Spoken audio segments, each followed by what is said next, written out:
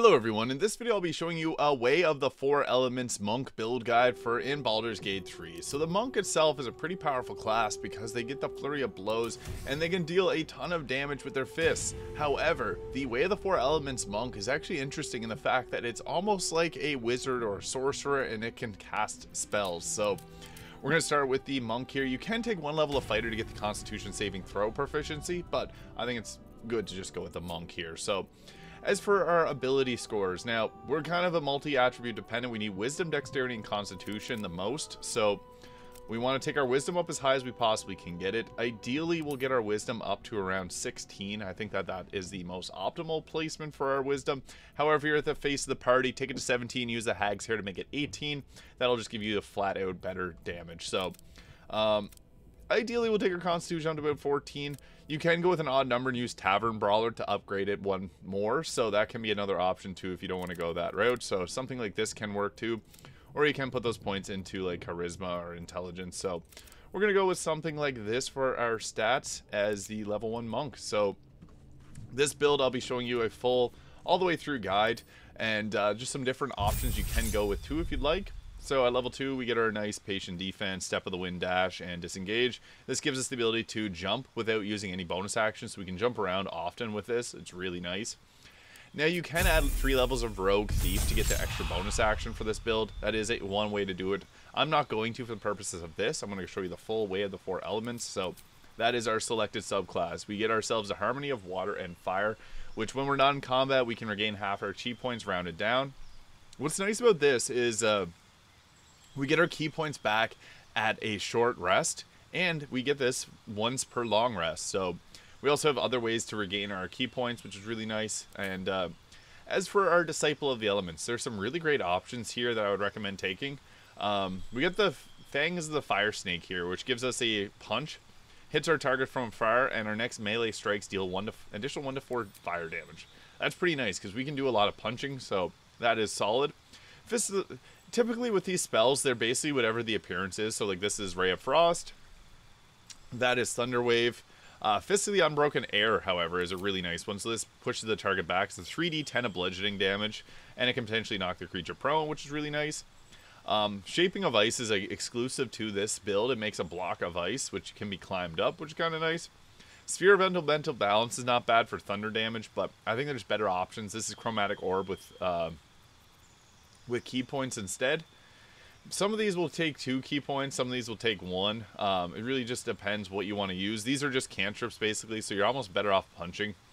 Um, Water Whip's not a bad spell either, so I would say go to with these three here. Although Fist of the Four Thunders is nice if you want to push back multiple targets, but the Fist of the Unbroken Air will knock back targets six meters. So um, it can the Water Whip can also pull creatures towards you. So we got lots of great options there for defense.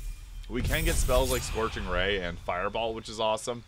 And at level 4, we get ourselves a Feat. Now, I would recommend taking your Wisdom up, because it's going to give us better damage, better armor class, and better... Um, uh, we get our, we'll be able to add this to our punches as well, so that is really good. You can go with Dexterity too, but I think Wisdom is a little bit better at this point in the game, so we're going to take that. At next level 5, we get our extra attack. So, while this is kind of a casting class, we also get the ability to punch twice and then punch again with Flurry of Blows. We also get the Stunning Strikes, which are also really good, possibly stuns a target, so this is our crowd control. And uh, it actually is quite strong. We can also cycle out our spells if you want to replace spells at any point. Now, at next level, we get two really good ones. We get the Embrace of the Inferno, which does, uh, it's basically Scorching Ray. Uh, it does three flaming, uh, three fire attacks, and it uses three ki points. However, I think Clench of the North Wind is actually better. Holds enemy still, they can't move, act, or react, and attacks within 3 meters are always critical hits. So we can fall, we can start off with Clench of the North Wind, and then run in, punch them to their face with a critical. Extremely useful. And uh, I think that Hold Person normally is a really good spell, but having it here is great too. So, Stillness of Mind, if we get Charmed or Frightened, we can automatically cost Stillness of Mind, which will give us an extra bonus action and give us our ki points back, which is awesome. Evasion is huge. This is something that's exclusive to the Rogue and the Monk. So, uh, whenever a spell would deal half damage on a successful dexterity saving throw, it deals no damage. And then if we fail the throw, we only take half damage. So straight up, we go from taking full damage and half damage to now taking half damage or no damage. Really, really good. So uh, that is one nice thing about that monk. And we can also change out one of our spells here. If you find you're not using, like, let's say Water Whip, for example, you can swap it out and then take, like, your Embrace of the Inferno. So that is an option there if you wanted to do something like that. You could you could easily just uh, swap out your spells there. Now, for our next feat, I think it's good to go with Tavern Brawler, honestly. Tavern Brawler is underrated, as more so focused on the open hand monk, but one nice thing about this is it allows us to round off our, our uh, constitution, but it's going to add our strength modifier twice to damage and attack rolls. So whenever we punch, we don't miss. And that actually just flat out increases our, our damage output. So I think that that's a solid one to go with. Some people might not like it because you don't want to... Some people try to treat this as more of a caster. Well, it does cast. It's also a monk, and monks like to punch. We also get the unarmed uh, movement, so whenever we don't wear armor, we get to we can jump an additional six meters, and difficult terrain doesn't slow us down. That's really nice. And we get improved elemental casting. So your, your affinity with elemental Ki deepens. Several of your four elements features deal an additional die of damage. Your Clench of the North Wind can hold an additional creature, so our hold person can deal more damage. And the Embrace of the Inferno fires an extra ray. This is a good time to take our Embrace of the Inferno because that gives us four Flaming Rays now, so that's a nice damage option. And uh, yeah, what's nice about that is our hold person can now hold two people, so we can hold two people and punch. We also get immunity to poison, increased movement speed, la da da, pretty good. And then at level 11, this is where the build comes together with our final Disciple of the Elements. Flames of the Phoenix is the clear winner here. Four ki points, but it's Fireball. Everyone loves Fireball. Uh, we also get the ability to fly if we want to, but you can also become an Illithid and take that. And if you're on PC, I would recommend becoming an Illithid. And then you can also edit. There's if you check out my channel, I have ways to remove the Illithid veins and everything. So if you don't want your character looking ugly, um, I'd recommend taking Flames of the Phoenix, but you can take Ride the Wind if you really, really want to. And Gong of the Summit's not terrible, but Fireball is hard to beat. So we're going to go with Fireball. And uh, yeah, for our final level here, there's a couple ways we can go about this. So if we want, we can stick with a full 12 levels of Monk. However, you can add in the Fighter to get some extra weapon proficiencies and medium armor and shields. However, the Monk is actually probably best suited to just stay as a single level class.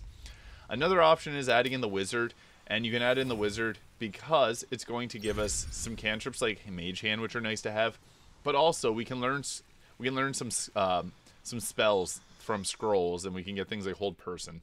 For the purpose of this, I think it's actually best to stick with our full 12 levels of Monk, because that way we get another, ourselves another feat. Now, taking our Wisdom up to 20 or Dexterity up to 20 is kind of like the ideal way about going about this. I'm going to go with the increased wisdom because we have boots that can add our wisdom modifier to the damage. So having high wisdom works really well here. In addition, we also have the uh, Flurry of Blows being able to deal a ton of damage with Tavern Brawler. So here it is. I'm using these weapons here. You don't have to use them. They scale off your strength. Uh, I have a video guide on how to get permanent flame blades if you really want to use the flame blades. They look really cool and they deal a ton of damage. So I like having them there just for like your weapon attack if you want pure fire damage. I'm using the Scrappy Pugilist Circlet for an additional 2 damage when surrounded by 2 or more foes. Typically, we will be, so that flat out 2 damage is really nice. We got 22 armor class from our Wisdom and Dexterity. Um, I'm using the Ring of Protection and the Cloak of Protection there for extra armor class. If you want to take it up to 23, you can use the Evasive Shoes. But I'm using the Boots of Uninhibited Kushigo, so whenever the wearer deals the wearer deals additional damage equal to their Wisdom modifier with unarmed strikes. We have the Gloves of Soul Catching, the best monk item. Uh, additional 1 to 10 force damage, which is doubled on our Flurry of Blows. And once per turn, we can regain 10 health points or get advantage on attack rolls and saving throws, plus 2 to Constitution. I am using the Constitution Amulet, but even if I wasn't, um, we'd still have a good amount of health there.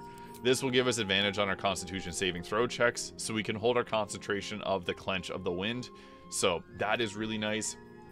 And also the Vest of Soul Rejuvenation, perfect monk armor. Uh, gives us 1 to 4 health points when we succeed a saving throw, which is going to be quite often. And then we can also make an unarmed attack against any attacker that misses, and plus 2 armor class. So pretty solid. Now, we don't have to use weapons. We can go unarmed with our attacks, but I like to have that there just as an option. But our Flurry of Blows, look at that. 46 to 78 damage. So we get quite a bit of damage there from that, which is awesome. Um, and uh, on top of that, we also have our Stunning Strikes, so we can use Stunning Strike. The melee one is pretty cool because it'll deal fire damage. They're pretty close in terms of the amount of damage that they'll deal. But we got our Flames of the Phoenix. So we got ourselves a Fireball there, which is just awesome to have. Didn't hurt me, Zora, but uh, it will use up your ki points pretty quickly. But we do have the Harmony of Water and Fire, which we can use to regain our ki points at any time. And uh, it'll give us half our ki points back, which is awesome. But we also have things like the Flame of the Fire Snake, which deals... Um, our fist damage to a target, so that's pretty cool. We can um, do it from range, as you can see there. They do have a save from it, which is interesting, but then we can also use something like our Water Whip, knock prone, or pull. So those are pretty cool because we can pull creatures around or knock them around with water. So that knocked him prone. pretty nice. Um, we also got our Step of the Wind there. So we got many options for survivability's sake we get the ability to attack with our offhand. Although Flurry of Blows is typically going to be the best option for damage. Upwards of 78 damage is really nice. And yeah, we got Fireball and Scorching Ray. The cool thing is Scorching Ray will deal four beams of damage, so that can be pretty good damage output just just from that. But then we also have Hold Person that can work on um, two targets, which is great because we can hold person and then go in and Flurry of Blows punch them, and this will be critical. So this can deal a ton of damage, and when in doubt, fireball it out. Um, so you can literally just drop a huge fireball and hit a ton of people. Flames of the Fire Snake, pretty good, but fireball is hard to go wrong. So that is a really nice thing about this build is you got options and you can punch. So our punching attacks are typically going to be the best ones to use. Um, I feel bad attacking my teammates, but um, just want to show that off. And then we also got the bonus action Unarmed Strike, which is decent. And then we got our Soul Snare heal from the item, or from our armor there. So pretty solid build overall. We got a lot of damage options. And yeah, the Way of the Four Elements Monk is quite powerful in Baldur's Gate 3. So if you found this video useful, please leave a comment below and subscribe if you haven't already. Thank you so much for watching, and I'll see you all in the next video.